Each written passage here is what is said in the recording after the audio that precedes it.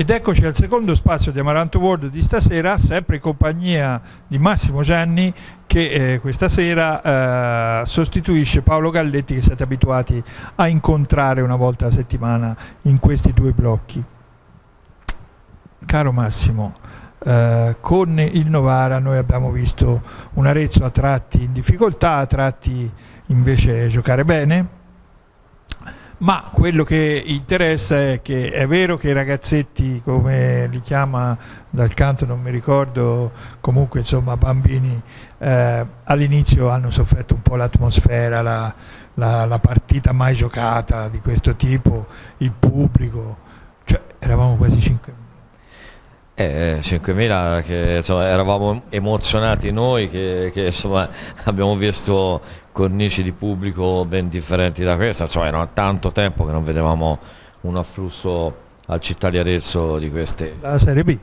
Sì, da, eh, sì esatto, credo che da, da, dall'anno della, della, retrocessione del 2007 probabilmente abbiamo sfondato quel, quel famoso muro che non riusciamo mai a scavalcare. Insomma e quindi eravamo emozionati anche noi, ci immaginiamo un, uh, giocatore. Ma l'abbiamo visto in campo, abbiamo visto che Sala, Basit, eh, Buglio, hanno tutti sentito, Borghini stesso, hanno tutti sentito questa situazione iniziale.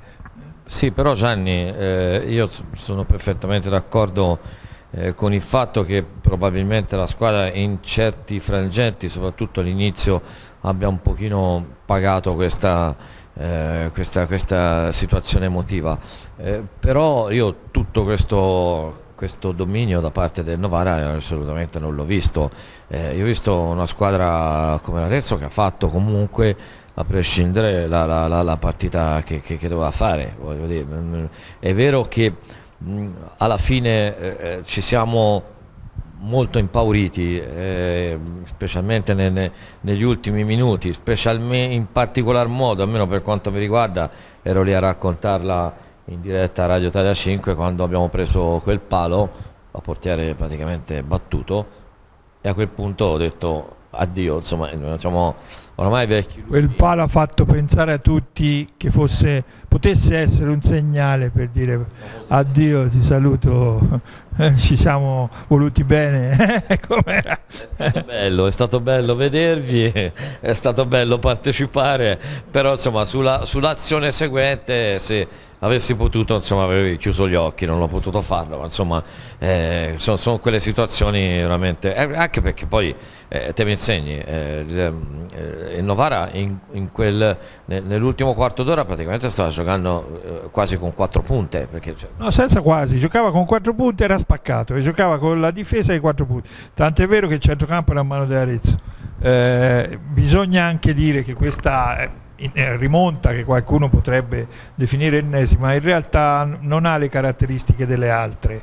Perché se ci guardate bene anche rivedendo gli highlights eh, il primo gol del Novara è stato un gol, un tiro della domenica trovato di mercoledì. Parliamoci chiaro, c'era poco da farci. Ora è vero, potevano entrare con più determinazione sull'uomo che ha tirato ma in realtà era molto lontano dalla porta eh. no no no ma eh, sono, sono d'accordo gol diciamo così evitabile è stato il secondo non, non, non il primo e capita comunque, comunque, di prenderlo e purtroppo eh, sono, sono, riemersi più che altro i fantasmi di, di, di fine febbraio. Però la squadra non ha perso la, la, la, la bussola. Tant'è vero che quando nel finale appunto eh, c'era da tenere il risultato, ha rischiato di vincerla la partita, quindi è diverso da altre volte quando la squadra si è affievolita e poi si è chiusa nell'area perché non sapeva cos'altro fare. No, stavolta ha continuato a giocare, insomma, hanno, hanno, sono riusciti in qualche modo a far finta che, che non fosse stata una rimonta.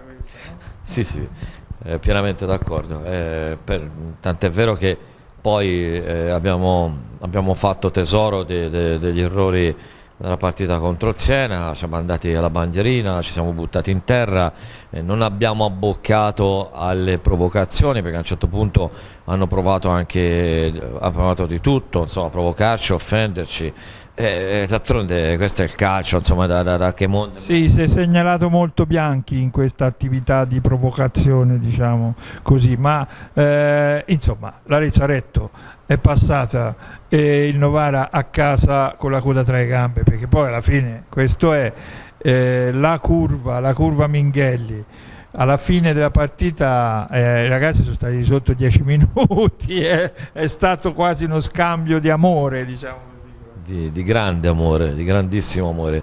Eh, sì, perché proprio la, la, la, circostanza eh, lo, lo, lo, lo, esigeva, insomma, che questi ragazzi, che poi ricordiamoci che eh, chi è in campo, che questi ragazzi che sono in campo hanno più o meno gran parte l'età dei tanti giovanissimi che sono in curva, che ieri hanno popolato e dato vita a questa coreografia bellissima, questo tifo incessante che è durato 90 più non so se 7-8 minuti, a un certo punto ho smesso di contare. Beh, in teoria erano 5, ma non si sa quando, quando, è finita poi, erano lunghissimi.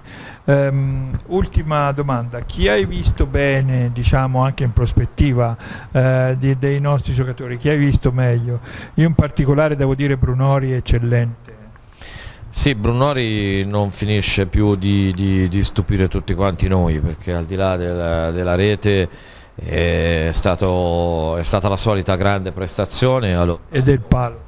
Sì, sì, anche il palo, e lì è stato sfortunato veramente quando prendi il palo, cioè la butti fuori, ma insomma quando prendi il palo eh, insomma, devi, devi, sempre mangiarti le mani. Ma anche in un'altra occasione, quando gli è arrivato a mezzo all'area a palla e lui si è girato, si è girato due volte da una parte e dall'altra, è riuscito a liberarsi del difensore, ha tirato e una gambina gli ha fermato la palla che stava entrando in porta. Sì, guarda, eh, lì, quella è stata, fra l'altro questo gesto che hai eh, descritto in maniera eccellente è arrivato al termine di un'azione un eh, corale tutta di prima eh, che purtroppo veramente se lì è mancato il gol e basta perché ha fatto una cosa eccezionale Brunori. Brunori davvero merita, merita una categoria superiore. Speriamo che arrivi con, con l'Arezzo dai. Eh, così potrebbe rimanere qui. Dobbiamo chiudere perché c'è il terzo spazio che ci aspetta e ci sarà Alessandro Dal Canto con noi. Quindi eh, vedetevelo subito dopo la pubblicità. Grazie. Grazie a te Gianni